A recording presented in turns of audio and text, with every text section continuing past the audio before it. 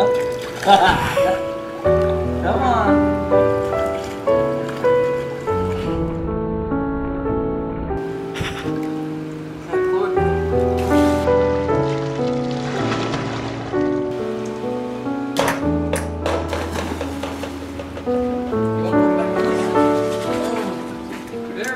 Bonding right now.